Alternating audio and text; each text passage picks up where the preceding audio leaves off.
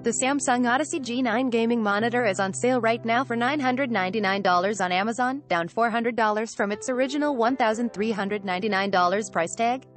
The 49-inch 5120 by 1440 monitor comes with a fast 240Hz refresh rate 1 millisecond response time and supports both G-Sync and FreeSync 2. As noted in our review of the Odyssey G9, the curved monitor offers an immersive gaming experience, stretching around your entire field of vision as you game. It produces incredibly vivid colors thanks to its QLED display and emits 1000 nits of brightness. My colleague, Sean Hollister, pretty much sums up what it's like to game on this behemoth of a screen in his review. I'm not kidding when I say I have to avert my eyes when I launch Destiny 2 in HDR, and I could swear I felt the flames the first few times my Star Wars Squadrons T-bomber blasted an X-Wing into oblivion. Samsung debuted an upgraded version of this display in July called the Odyssey Neo G9 monitor.